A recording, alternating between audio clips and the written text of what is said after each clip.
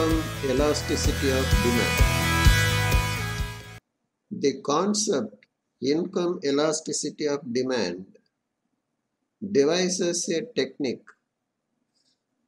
to assign a numerical value to the sensitivity of a change in quantity demanded of a good to a given change in the income of a consumer.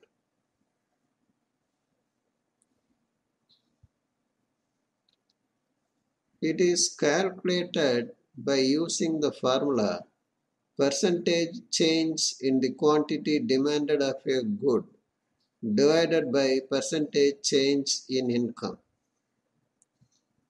Look at this table. It is an income demand schedule.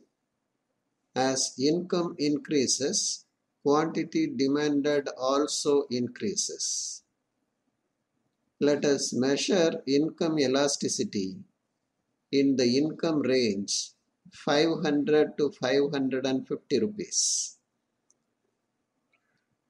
With an increase in income, quantity demanded goes up from 25 units to 30 units. Percentage increase in income is 10%. Percentage increase in quantity is 25%. Since a proportionate increase in income, that is 10%, causes a more than proportionate increase in quantity demanded, that is 25%, the income demand is relatively elastic or more than unitary.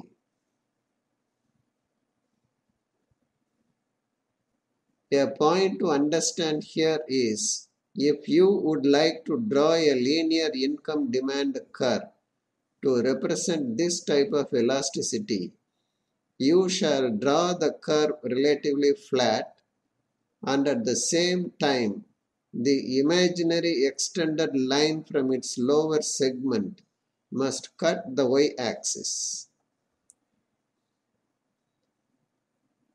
This is the demand curve.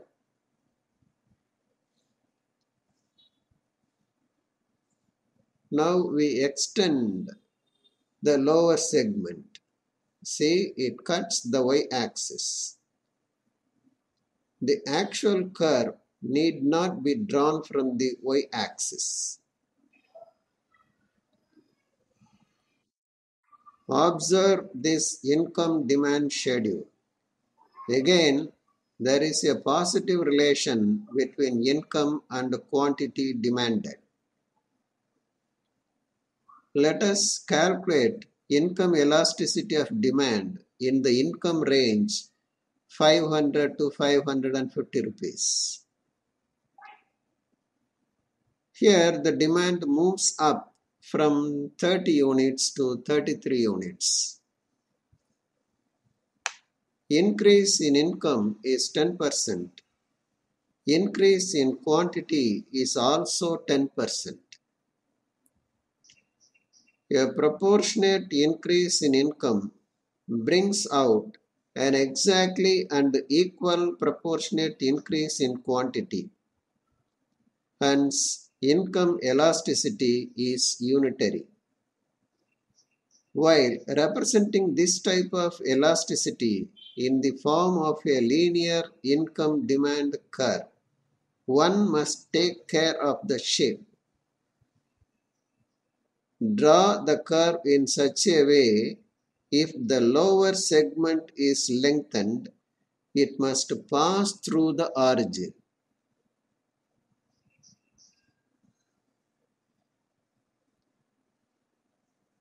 This is yet another income demand schedule.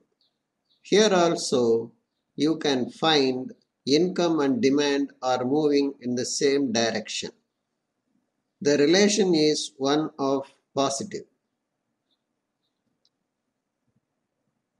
In this case, when income moves up from 500 to 550 rupees, quantity increases from 25 units to 26 units.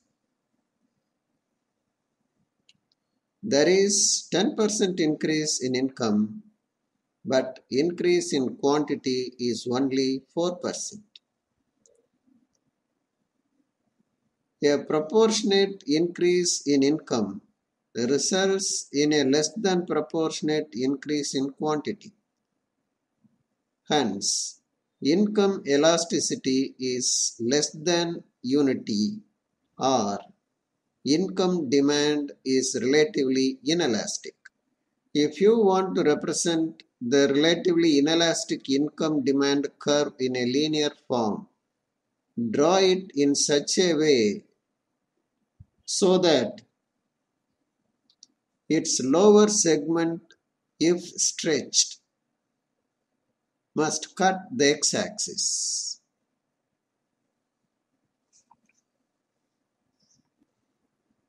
The thing that we have to keep in our mind is if the income elasticity of demand is positive, then that good is said to be a normal good. Well, in case of inferior good, the income demand is negative.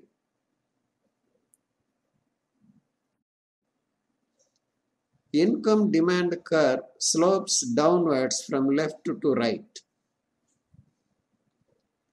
Its income elasticity in the income range 500 to 550 rupees is minus 1.7. Its income elasticity is negative.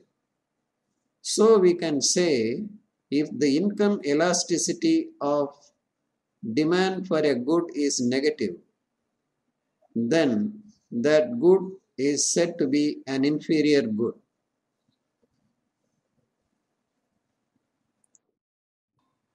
Before we end our discussion, we shall see how the formula to calculate the income elasticity can be stated algebraically.